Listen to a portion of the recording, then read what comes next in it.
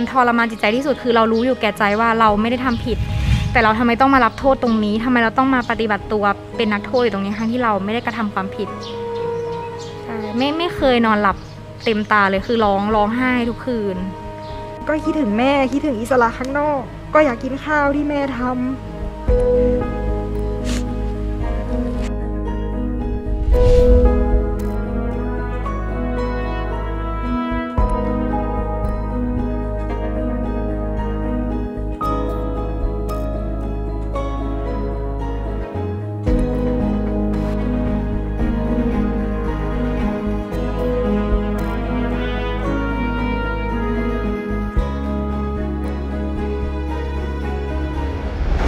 นั้นก็อายุ 17 ค่ะ แล้วก็ตอนนั้นขึ้นมากรุงเทพอะค่ะ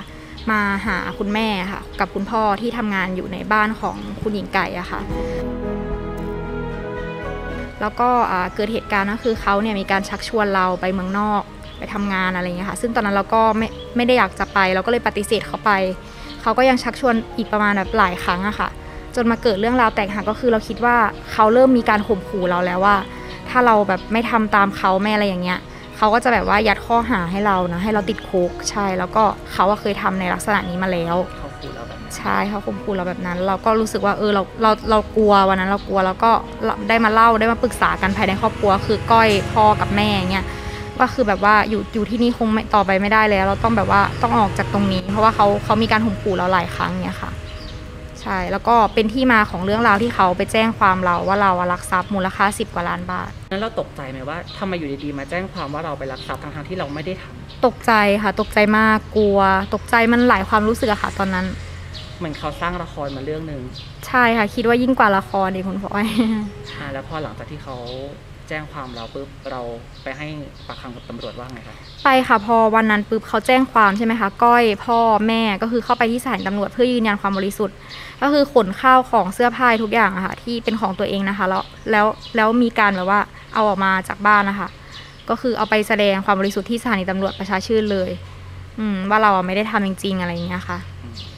แล้วหลังจากนั้นยังไงต่อคะแล้วหลังจากนั้นก็ทางตำรวจก็ดำเนินคดีอะไรตามกระบวนการมาค่ะ จน ก้อยมาโดนจับประมาณไอช่วงปี 58อะค่ะ โดนจับแล้วก็ได้ถูกควบคุมตัวเข้าไปในสารเฮดสามเดือน มันทรมานจิตใจที่สุดคือเรารู้อยู่แก่ใจว่าเราไม่ได้ทำผิด แต่เราทำไมต้องมารับโทษตรงนี้ทำไมเราต้องมาปฏิบัติตัวเป็นนักโทษอยู่ตรงนี้ทั้งที่เราไม่ได้กระทำความผิดใช่ไม่ไม่เคยนอนหลับเต็มตาเลยคือร้องร้องไห้ทุกคืน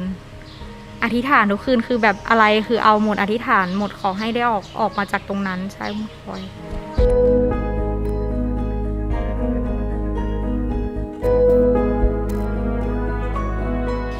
อ่าก็เขียนว่า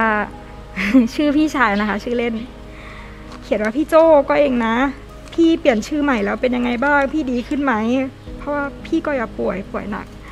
เขาก็เลยไปเปลี่ยนชื่อแล้วก็ก็บอกว่าเออเห็นป้าเหมียวบอกว่าพี่อะอ้วนขึ้นเยอะเลย แต่ก็ดีแล้วแหละที่พี่จะได้มีแรงขึ้น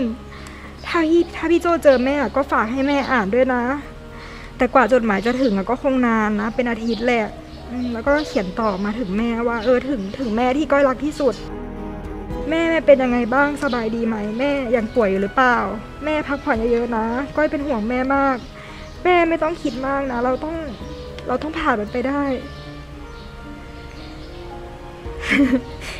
เงินเดือนแม่แม่ก็เก็บไว้บ้างนะอืแม่อยากส่งให้น้องใช้เยอะอะไรอย่างเงี้ย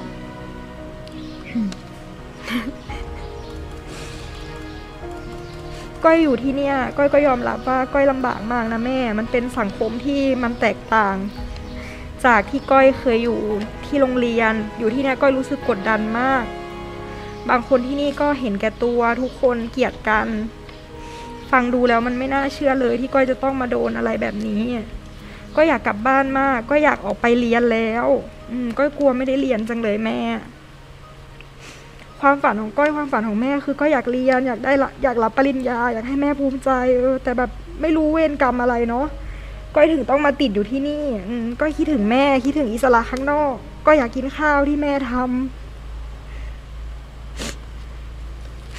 ก็อยาก ก็อยากซื้อของที่ดีๆ มีประโยชน์ไปให้แม่เพราะแม่ไม่ชอบซื้อ แม่กลัวเปลืองเงิน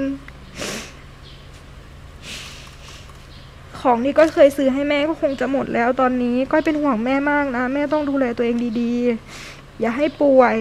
แม่สัญญากับก้อยนะก้อยอยากกอดแม่จังเลยก้อยเหงามาก อยู่ที่นี่ก้อยโดดเดี่ยวมาก ก็อยากเจอแม่ ก้อยกลัวไม่ได้เรียนหนังสือ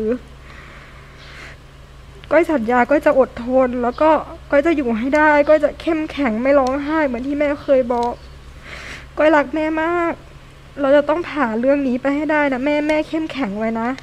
ก้อยก็จะอดทนก้อยรอกลับไปกอดแม่ทุกวันเลยรักแม่มากที่สุดลูกก้อย อันนี้เป็นจดหมาย ช่นี้เป็นฉบับแรกที่ก้อยเขียนฉบับแรกเลย เราได้ส่งถึงแม่เลยค่ะส่งส่งค่ะส่งให้พี่ชาย เพราะว่าตอนนั้นก้อยไม่ไม่รู้ที่อยู่แม่เลยคือแม่แม่ก็หนีหนีหมายหนีคดีอะค่ะ คุณพลอย ก็คือพี่ชายก้อยเนี่ยเขาตอนนั้นเขาเดินเดินไม่ค่อยได้ค่ะ เพราะเขาเขาผอมมากแล้ว ปกติอะจะเป็นก้อยดูแล แล้วก็คอยทำอาหารให้สามมือแล้วก็ก็ออกไปทำงาน แล้วก็ตอนเย็นกลับมาก็ทำอาหารอะไรอย่างเงี้ยให้เขาแล้วพอ ก้อยตอนที่ก้อยเข้าไปอยู่ในนั้นนะเขาสุดหนักมากเขาเขาคิดมากค่ะเขาตอมใจแล้วพอก้อยออกมาได้ไม่นานนะคะ น่าจะเดือนกว่าเขาก็เสียใช่เขาก็เสียคุณพลอยนั่นนั่นแหละค่ะเป็นสิ่งที่เจ็บปวดที่ช่วงเวลาที่ยากลำบากที่สุดก็คือ เราเราไม่ได้ดูแลคนที่เรารัก